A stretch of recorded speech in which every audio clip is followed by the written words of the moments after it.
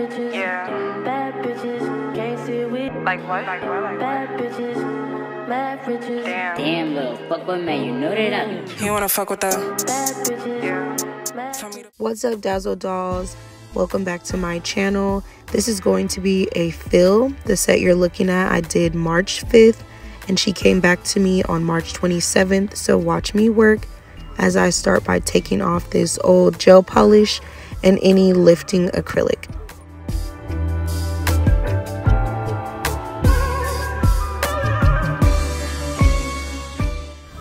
So for removing acrylic, you'll want to use a coarse sanding band or a metal coarse bit. That is what I have here. It is strictly designed for taking off acrylic as well as soak offs and taking off gel polish as you can see.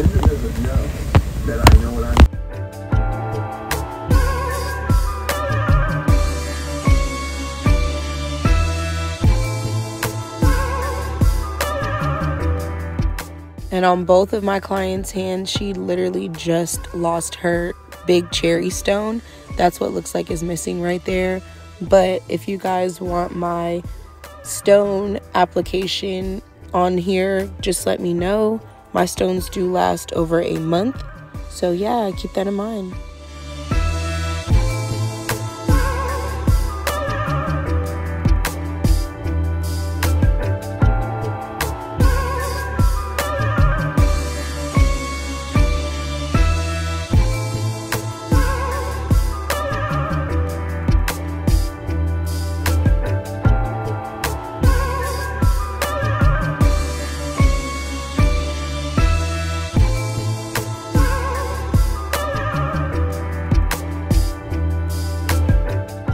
And it may look like I have gone towards her little piece of nail bed that's up there, but I have not touched that with this hard bit. I am only filing on that acrylic, only filing on that acrylic.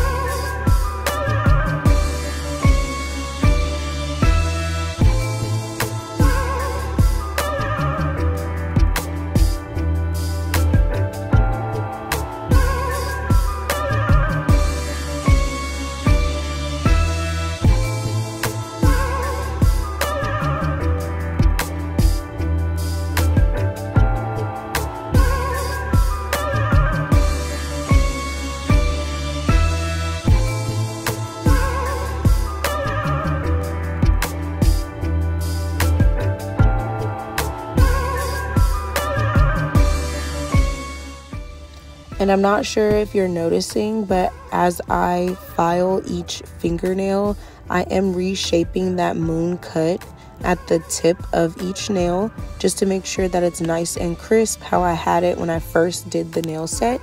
She also wanted to go a little bit shorter on these, so if you see me uh, on any of them kind of filing more in that middle, I'm just using that time to reshape as well as shorten the nail.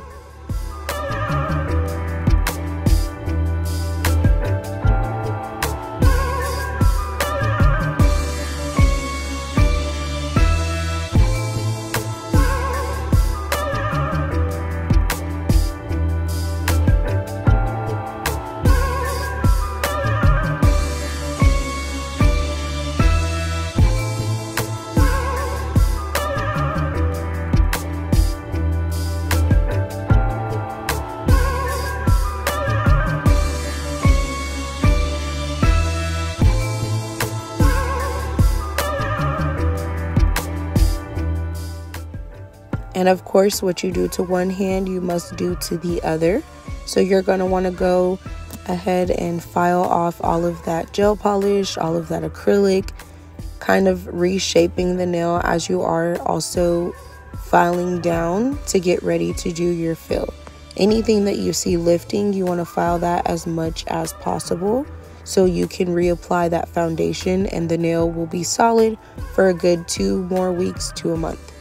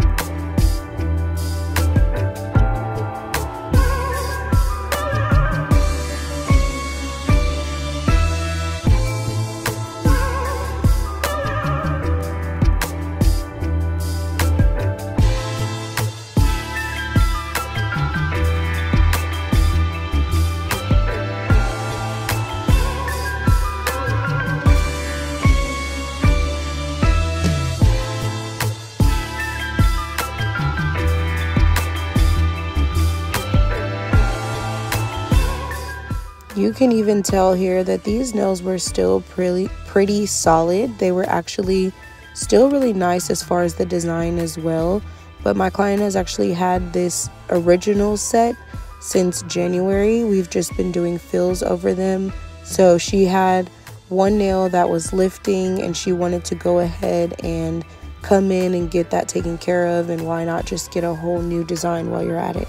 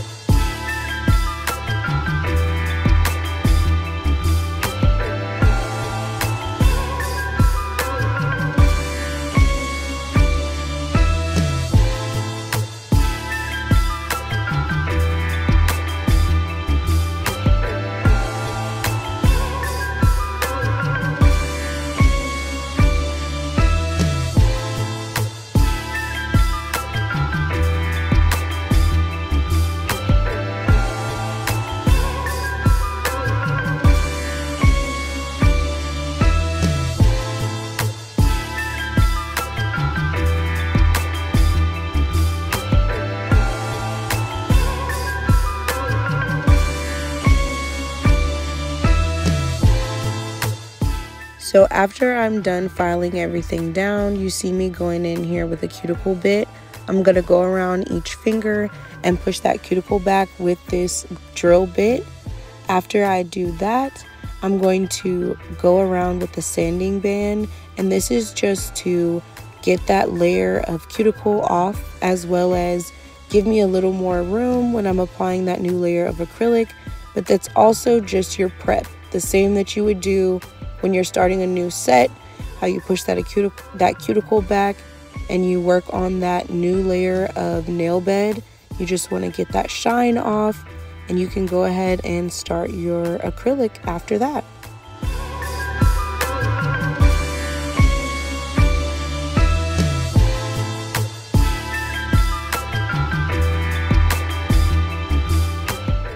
I use very fine sanding bands you don't want it to be a coarse sanding band because you don't want to uh, hurt the nail plate at all. You don't want to file too much on that nail plate. So I do use a very, very soft or fine sanding band to get that layer of shine off as well as any leftover acrylic or cuticle, sorry, excuse me, that was left there when I pushed the cuticle back.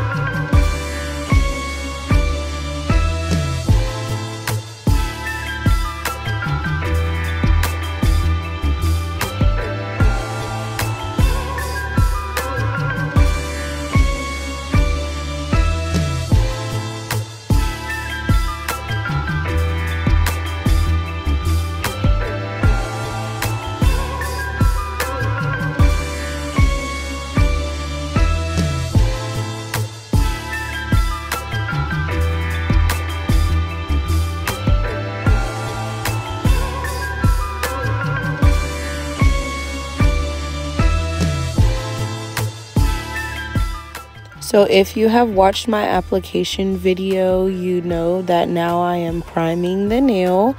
I'm using my CND primer in a blue bottle. That is the first layer after my dehydrator, which is just alcohol. And my last layer is always going to be that Young Nails Protein Bond. You see me applying that here. That is my holy grail and like one of the best things I could have ever done for my retention. And I have absolutely been loving this Mia Secret Cover Pink acrylic powder. My clients also have been requesting it at their appointments. I love that it has this super cute glittery finish to it. Um, you can definitely see it before top coat, but after top coat, it pops really, really nicely. I love that it's universal. I use this on my melanin mommies, and I also use this on my more light skin clients and it looks beautiful on any skin tone. I would highly recommend.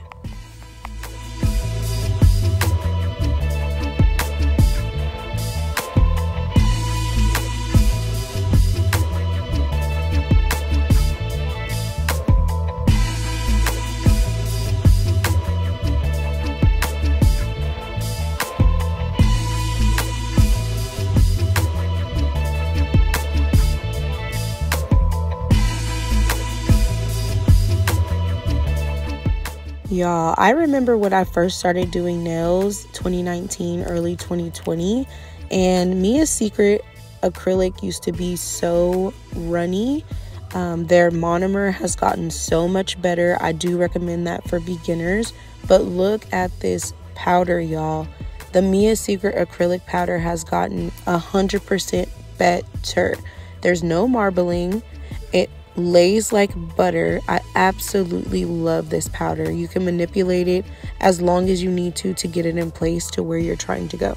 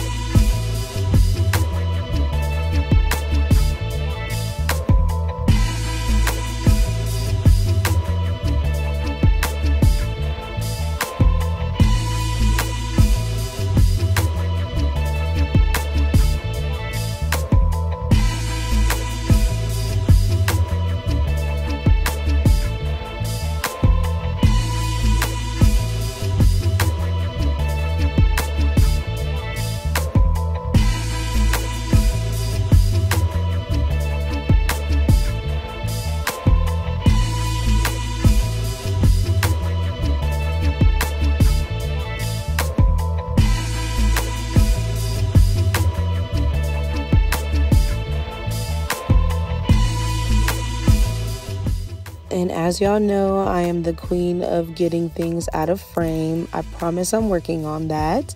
But I did go ahead and just take out those clips this time. I don't want you guys watching anything that you aren't learning from. But yes, this is the other hand, me finishing up the application on that hand. And once I'm done with this, I did forget to record me actually applying the spider gel, but I will add clips of what the nails looked like when I was done at the end.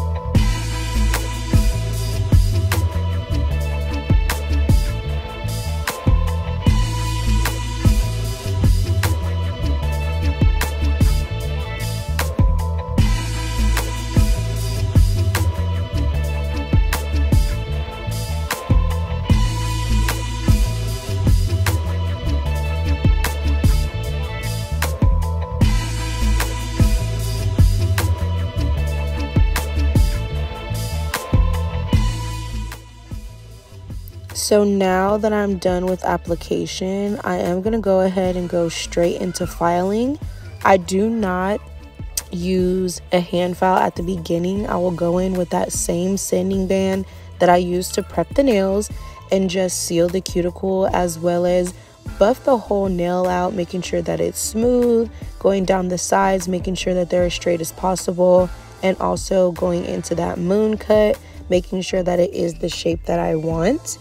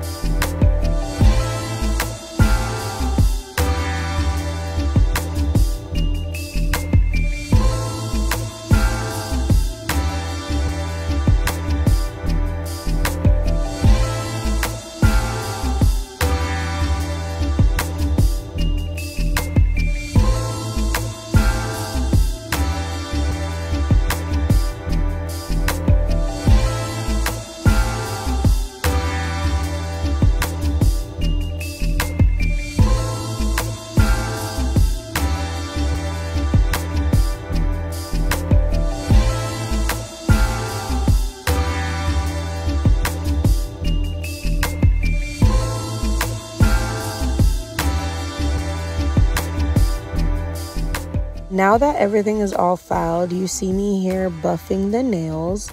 It is sped up, so I promise I'm not being rough. It does look like I'm being rough, but I'm going very, very light on my actual client. If you see anything that needs to be fixed, better you fix it than your client see it and they're already gone and they hate their nails because of that one little flaw. So as you see, I will go in and fix anything I feel like needs to be fixed. I will file anything I feel like needs to come off. But buffing after you file just helps to smooth that nail out so you can add your designs.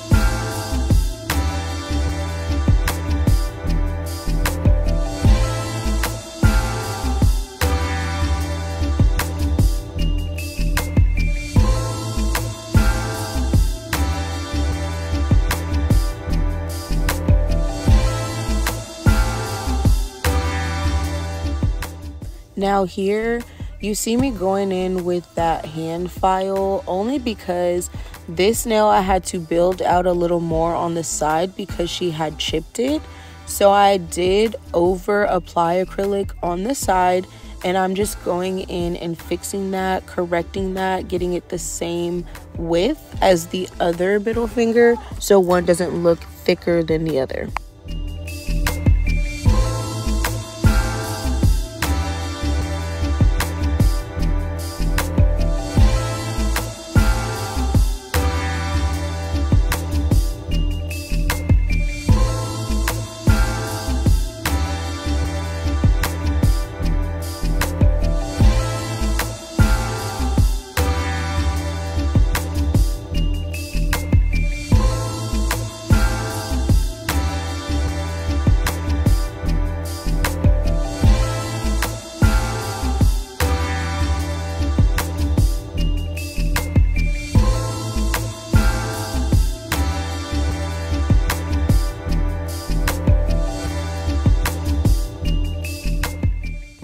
So now application and everything filing is done. I'm going in with some Swipe by Young Nails, which is literally just alcohol with a little bit of acetone in it. I'm cleaning up those nails, getting them nice and smooth with that um, cleaning agent just to make sure that there's no dust on there when I start drawing.